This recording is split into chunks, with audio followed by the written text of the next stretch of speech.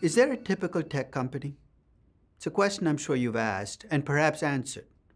30 years ago, the answer to that question would have been it's young, it's high growth, and it's risky, and you'd have been right.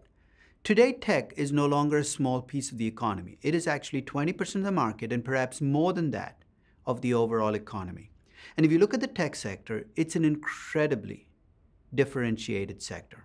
You've got old tech companies, you, of course, have IBM that's been around for decades, but you have companies like Apple and Intel that have been around for 30 years or longer. Those are the old companies, and if you look at them, they're actually priced very reasonably.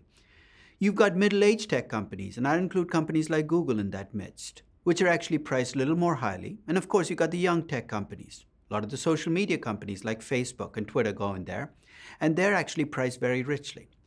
But that is something you'd expect to see, right? Older companies have low growth and have lots of earnings, and not surprisingly, the prices reflect that. Younger companies are riskier and have higher growth, and their prices reflect that as well. So what I'm asking for is that do you as an investor, when you look at a tech company, first think of its age before you think of it being a tech company. Older tech companies look a lot like mature companies in other sectors. Younger tech companies, of course, will be highly priced.